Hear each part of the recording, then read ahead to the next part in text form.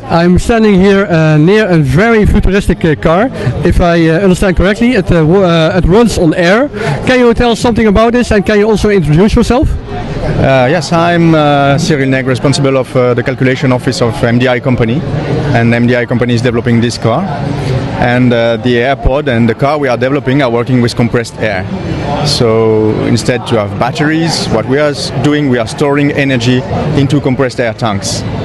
Um, respect to electric cars, the advantage is that, we can uh, charge these kind of cars within two minutes, which is very rapid, having an air station.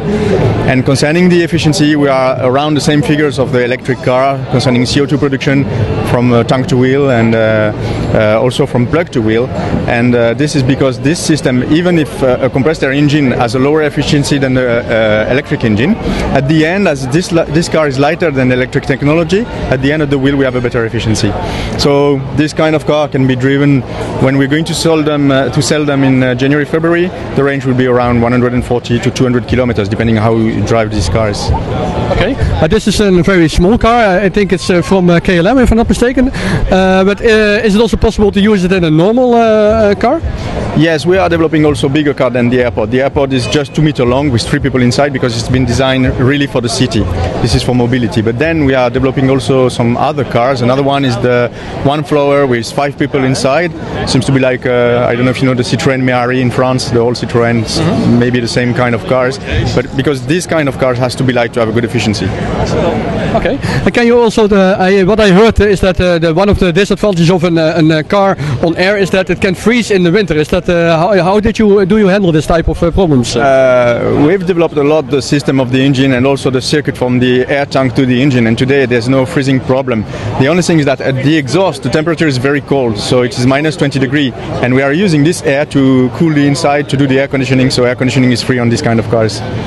But also what we've not said is that this kind of technology one of the advantages is that's a lot cheaper than what we can find today on the market with same efficiencies.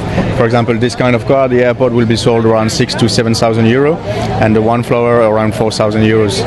So That's uh, quite impressive. Uh, do, you, do you think this uh, type of car can be used anywhere in Europe, or is it more used, uh, better used to in, uh, in warmer climates? Uh, No, it, it's going to be used uh, everywhere in Europe, uh, even because uh, concerning the heating system of these cars, we are developing a dual energy car that gives more range to the car, and this produces also heat, so there's no problem. It can be used in, even in cold country. uh, is it also uh, already available on the market?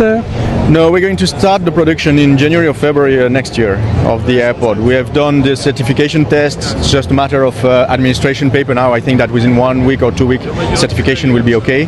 So then after we are preparing in the same time in parallel the, pro- the tooling process to develop this car and to produce it. And uh, in January we can start with press area and February we can sell them. oh, very impressive. Thank you very much for the interview, and uh, good luck with your uh, project. Thank you very much. Bye bye. Okay.